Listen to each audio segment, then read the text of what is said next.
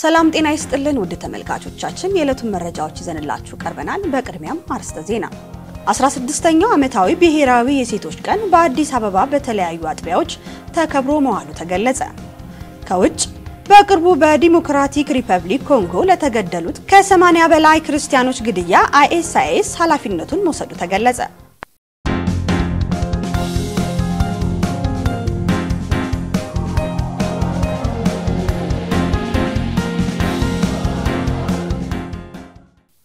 ተመልካቾቻችን ከእናንተ ጋር አብሬ የምቆየው እኔ ጽጌረዳ አለሙ እንዲሁም ከመላው የስቱዲዮ ባለሙያዎች ጋር በመሆን ነው።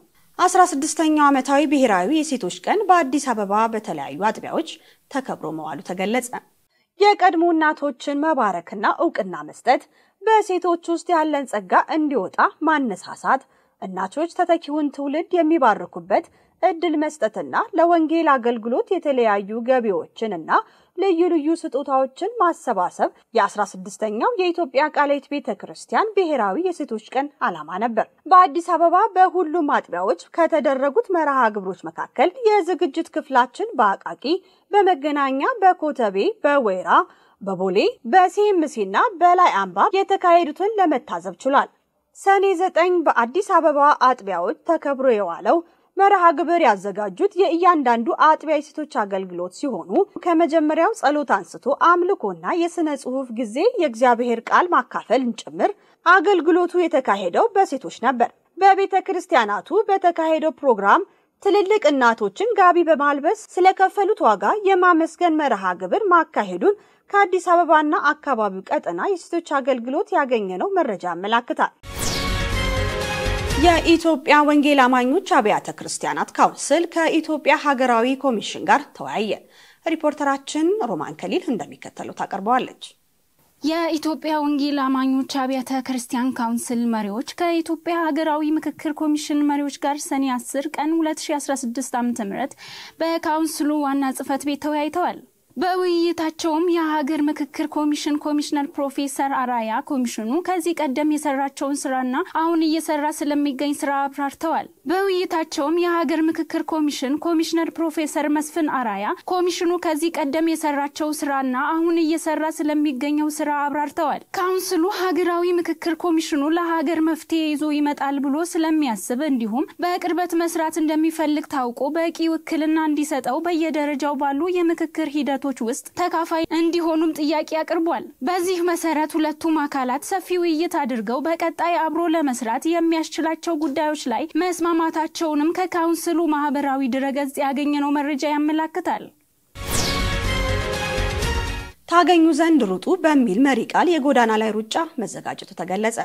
ሰኔ 12 ቀን 2016 ዓ.ም በሂልተን ሆቴል በተሰጠው ጋዜጣዊ መግለጫ ታገኙ ዘንድ ሩጡ በሚል መሪ ቃል የ5 ኪሎ ሜትር የጎዳና ላይ ሩጫ ሐምሌ 28 ቀን 2016 ዓ.ም እንደሚከናወን ተገልጿል። የሩጫውም ዓላማም በተለያዩ የሱስ እስራት ውስጥ ለሚገኙ ወጣቶች ከታሰሩበት እስራት ነፃ እንዲወጡ ግንዛቤ የማስጨበጥ ስራ መስራትና እንዲሁም በቀጣይ የወጣት ማሰልጠኛ ማዕከልን መገንባት ላይ መሆኑን ነው የተገለጸው። ተገኝቷን ሁለንተናዊ መንፈሳዊ አገልግሎት ከ2006 ዓ.ም ጀምሮ በወጣቶች ዙሪያ ልዩ ልዩ አገልግሎቶችን ሲሰጥ እንደነበረ የሚታወስ ሲሆን በ2013 ዓ.ም በካውንስሉ ተመዝግቦ ሰፋፊ አገልግሎቶችን በመስጠት ላይ እንደሚገኝ የሁለንተናዊ መንፈሳዊ አገልግሎት ዳይሬክተር እዮብ ሙሉጌታ ተናግሯል። በመግለጫው ላይ በኢትዮጵያ ወንጌል አማኞች አብያተ ክርስቲያናት ካውንስል ጠቅላይ ጸሐፊ ማዕረግ ዓለም አቀፍ ግንኙነትና የመንፈሳዊ ዘርፍ ኃላፊ ፓስተር ይልማ ዋቂ፣ የኢትዮጵያ ወንጌላውያን አብያተ ክርስቲያናት ህብረት ፕሬዝዳንት ፓስተር ጻድቁ አብዶና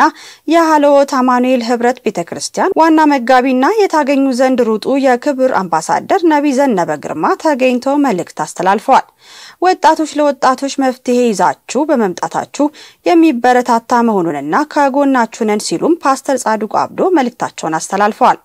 መረጃውን ከካውንስሉ የማህበራዊ ድረገጽ አገኘ ነው። ውድ ተመልካቾቻችን መረጃዎቻችን እንደቀጠሉ ይገኛሉ። አሁን ደግሞ ወደ ውጭ ሀገራት ዜናዎች እናልፋለን። በቅርቡ በዲሞክራቲክ ሪፐብሊክ ኮንጎ ለተገደሉት ከ80 በላይ ክርስቲያኖች ግድያ አይኤስአይኤስ ኃላፊነቱን መውሰዱ ተገለጸ። በኮንጎ ለተገደሉ 80 በላይ ክርስቲያኖች አይኤስ ኃላፊነቱን እንደሚወስድ ማሳወቁ ተገልጿል። ኢስላማዊ የሽብር ቡድኑ በማህበራዊ ሚዲያ በለቀቀው መልእክት የአገሪቱ ዜጋ የሆነ ወታደራዊ የስራ ኃላፊውን ጨምሮ ከስልሳ በላይ ክርስቲያኖች በካሊፌት ወታደሮች በምስራቃዊቷ ኮንጎ ተገድለዋል።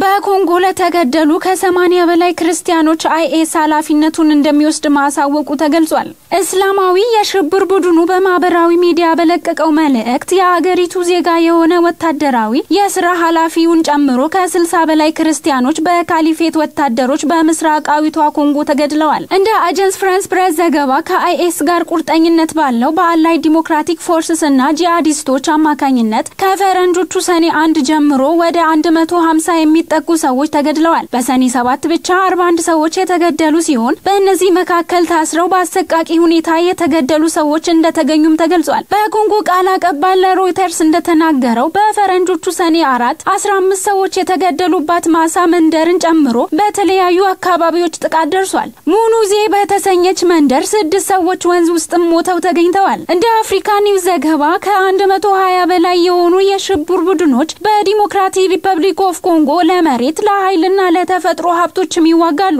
መረጃውን እስካጠናቀርንበት ሰዓት ድረስ ስለደረሰው ጥቃት የሀገሪቱ መንግስት ያወጣውን መግለጫ የለም። በ Open Door ዓመታዊ ሪፖርት መሰረት ለክርስቲያኖች አዳጋች በመሆን ከዓለማችን አርባ አንደኛ ደረጃ የምትይዘው ኮንጎ በክርስቲያኖች ላይ እየደረሰ ላለው በደል አፋጣኝ መልስን መስጠት ተስኗታል። በዚህም ምክንያት ብዙዎች በአሳዛኝ እጣ ፈንታቸው ውስጥ እንደተረሱና እንደተተዉ እየተሰማቸውም ይገኛል። በአሜሪካ የ Open Doors ዋና ስራ አስኪያጅ ክርስቲያኖች እንዲሰደዱና በዚህም ምክንያት ብዙ ቤተሰቦች ቤተሰቦቻቸውን መመገብ አይችሉም። እናም ዝግጅት ያልተደረገበት መፈናቀል በክርስቲያን ቤተሰቦች ላይ ከፍተኛ አሉታዊ አስተዋጽኦ ይኖረዋል በማለትም ተናግረዋል። እንደ አውሮፓውያን አቆጣጠር በ2020 ብቻ የ ISIS አጋር የሆነው Allied Democratic Force በሰሜናዊ ኪቩና ኢቱሪ አውራጃዎች ቢያንስ 849 ወንዶችን ሴቶችንና ህጻናትንም ገድሏል። እንደ Armed Conflict Location and Event Data ACLED መረጃ ከሆነ ይህ የሽብር ቡድን በ2023 ብቻ ከአንድ ሺህ በላይ ሰዎች ሞት። ፕሬዝደንት ፊሊክስ በበኩላቸው ቡድኑ ለሀገሪቱ ብቻ ሳይሆን ለጎረቤት ሀገራትም ስጋት የሆነ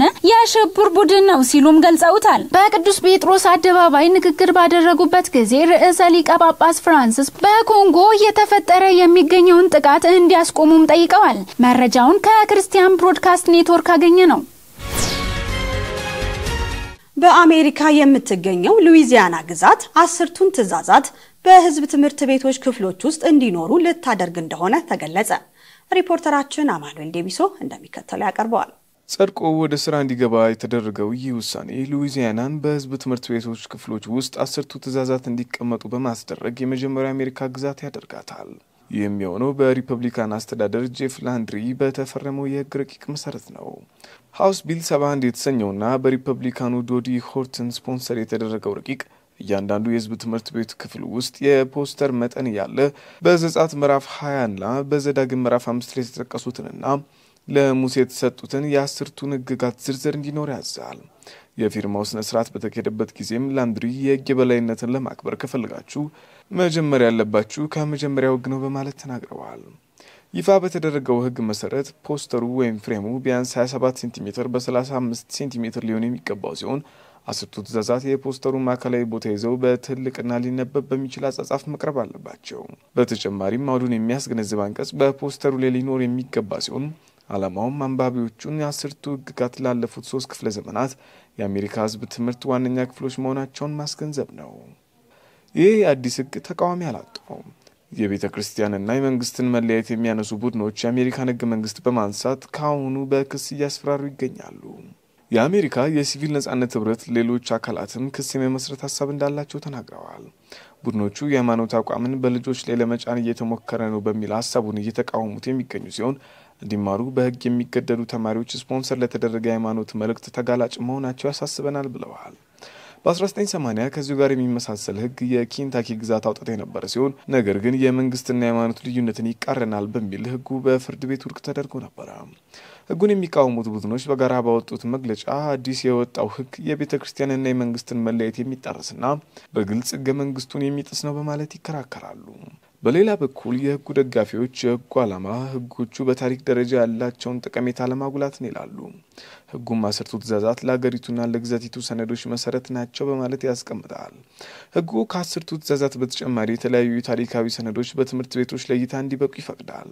እናም ህጉን የሚደግፉት የሪፐብሊካን state senator የሆኑት አዳም ቤዝ ምንም ያህል ሰነዱ ሃይማኖታዊ ቢሆንም የአሜሪካ ጠቅላይ ፍርድ ቤትን ጨምሮ በአሜሪካ ከ180 በላይ ቦታዎች ላይ ተለጥፎ ይገኛል። እናም እነዚህ ህጎች ሀገሪቱ የተመሰረተችባቸው ህጎች ናቸው በማለት ተናግረዋል። መረጃውን ከ Christian Post ያገኘነው።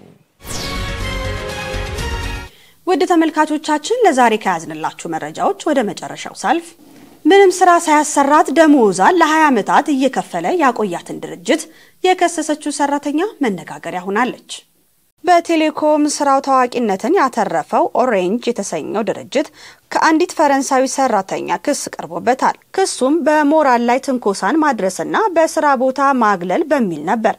ክሱን ያቀረበችውና ለ20 ዓመታትም ያለምንም ስራ ተቀጥራ የቆየችው ላውረንስ ቫን በ1993 በ Orange ሳይወሰድ በፊት በ civil servant ነት የተቀጠረች ሲሆን የመጀመሪያው ቀጣሪዋ ግማሽ አካሏ paralyze መሆኑን በመገንዘብ ከጤናዋ አንጻር የሚመች የስራ ደረጃ ተሰጥቷት ነበር እና በሰው ሀብት ክፍል ውስጥ በጸሐፊነት እየሰራች በምትቆይበት ጊዜ ላይ እንደ አውሮፓውያን አቆጣጠር በ2002 በፈረንሳይ ወደሚገኝ ወደ ሌላ ቢሮ ትዘዋወራለች። ሆኖም የተመደበችበት ቦታ ከጤና ሁኔታዋ ጋር እንደማይሄድ በሕክምና ይረጋገጣል።